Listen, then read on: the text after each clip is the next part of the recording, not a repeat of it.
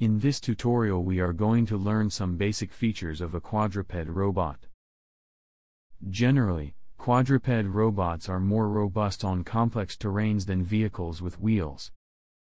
But since this tutorial is an introduction, we will assume that the robot is on the horizontal flat plane. This robot model is based on the famous robot which probably most of you know, but dimensions are not exactly the same. To operate this robot, a joypad is needed, but if you don't have one, use the controller app which is also included in the zip file provided with this tutorial. In legged robots, understanding of gait is very important. Gait is, quite simply, the pattern of how a person or animal walks. There are several types of gaits. Firstly, let's look at crawling. The term crawling is often used for movements of reptiles like lizards and turtles, while walk is used for mammals like horses or dogs. In this tutorial, we will define crawling as a movement when the animal is moving each leg high up in the air one by one.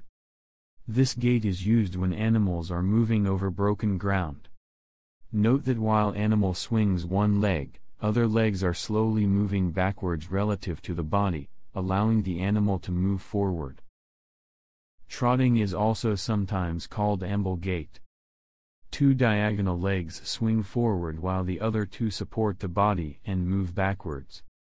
This gait is quicker than crawling, because two of its legs are lifted at one time, although it's not very energy efficient. The stability of the body is related to the frequency of the legs being lifted and placed, the quicker, the less shaky it is. Also, stability is related to design of the feet as well. If the feet have a large area contacting with the ground, you will find it stand better while the other two legs are lifted. The gallop is the fastest gait. Each stride can cover more ground than in other gaits, but it's also very energy demanding. In the gallop, we also see the greatest compressing and stretching of the trunk, with the tightest compression happening as the front limbs lift and the longest extension right before the front limbs land. In this tutorial, for a quadruped robot we will cover crawling and trotting. Now let's take a closer look at crawl gait. Crawling is a static stable gait. Inertial forces are negligible, and balance of forces is maintained with each step. This means that the robot can stop at any time without falling. While crawling, the robot always has three points of contact with the ground. Also, the sum of moments around the line connecting two diagonal contact points with the ground should be more than zero. In other words, the center of mass should always be inside the triangle of ground contact points. Otherwise, as soon as the robot raises its leg, the robot will fall. Let's take a look at the gait sequence. When the robot raises legs on the left side, it leans a little bit on the right side to move its center of mass, and vice versa. Note that the amount of how much the robot leans assigned can be changed in the gait controller by body shift Y parameter. Now let's talk about trotting. As it was mentioned before, trotting is unstable since legs contact with the ground only at two points at the same time. So, some kind of stabilization control should be applied to stabilize the robot. The objective of control is to find the position of the legs which will make robot roll and pitch angles even to zero. In this tutorial, PID control is used to stabilize the robot. This is how compensation is calculated. R stands for the objective values of pitch and roll, that is 0. E is the difference of the objective values in data obtained from the IMU. Since this is a discrete system, to calculate differential part we divide the difference of the current and previous error values by current time step value. And to calculate the integration part, we add a product of current time step and current error value to the previous integration value. Then, rotation matrix about each axis is calculated. Finally, Corrected leg position is calculated using rotation matrix and leg positions calculated from trot sequence. This is trotting forward sequence. While two diagonal legs swing forward, the other two legs kick the ground. For side movement, the idea is the same. Note that diagonal legs always swing to the robot moving direction and kick to the opposite direction.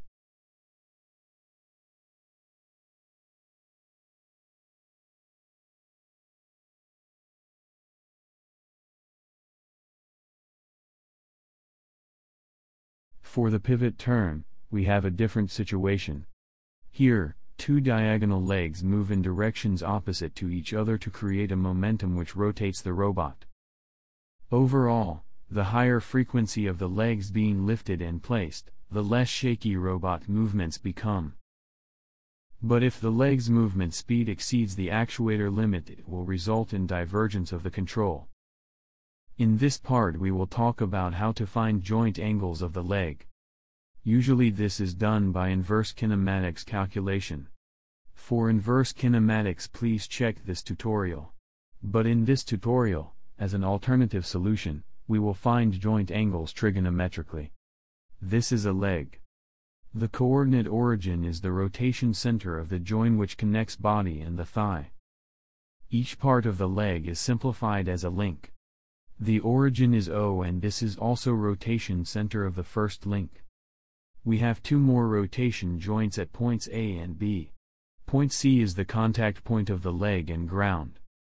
Each link length is set as L1, L2 and L3 respectively.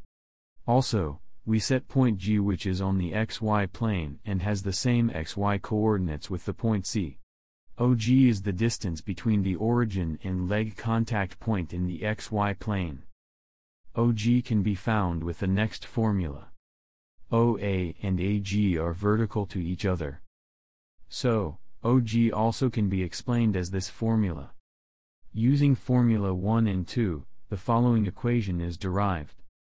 AG is expressed as shown. For the later calculations we also have to find length of AC. Since AG and GC are vertical to each other, AC is expressed like this. Now let's find out theta 1. As shown on this figure, theta 1 can be found subtracting red and blue angles from pi. So, theta 1 can be expressed like this. Note, that this formula may differ depending on how you set your coordinate system, but the idea remains the same. Now we are going to find out theta 3. Theta 3 can be found out by subtracting angle alpha from pi. Using the law of cosines, we obtain the next formula. Transforming this equation in respect to alpha. Alpha is expressed like this. So, theta 3 can be obtained by subtracting alpha from pi. Theta 2 can be found out by subtracting the red angle from the blue angle like it is shown in this figure. Note that all these angles are on the same plane.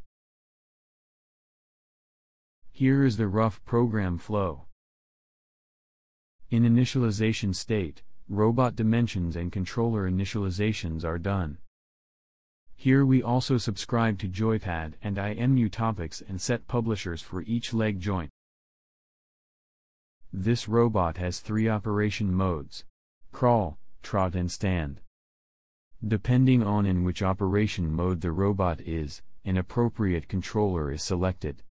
A controller sets the sequence of leg movement.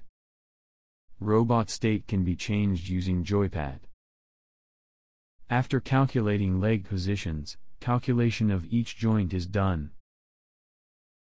At the end of the loop, each joint angle is published. Here is the leg moving sequence. 0 is for leg swing and 1 is for leg movement on the ground. As described in this flow chart, this robot has a separate controller for leg swing and leg movement on the ground. It based on the current time step and joypad input. To launch this simulation, first, download the zip file from Google Drive using the link in the description below. Extract the file. Open a terminal and create a workspace.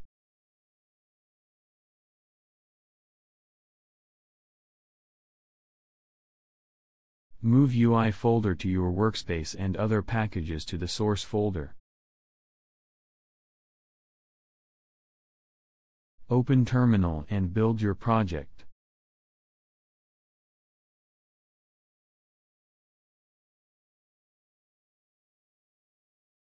Open a new terminal and source the directory. Launch the file.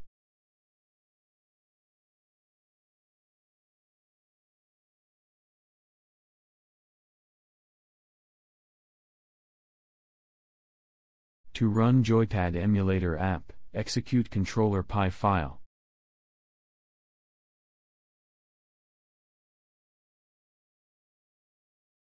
Note, to change walking mode, you have to set stand mode once and after that select a new walking mode.